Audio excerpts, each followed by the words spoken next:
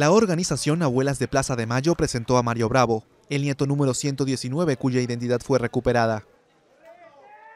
Fue robado recién nacido por militares de la última dictadura de manos de su madre en una cárcel de Tucumán, al norte de Argentina.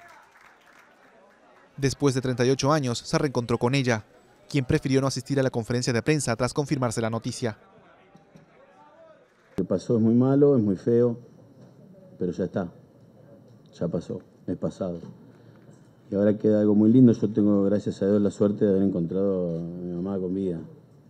Eso es un milagro. Eso es un milagro y, hay que, tengo que aprovecharlo y aprovecharlo mis hijos.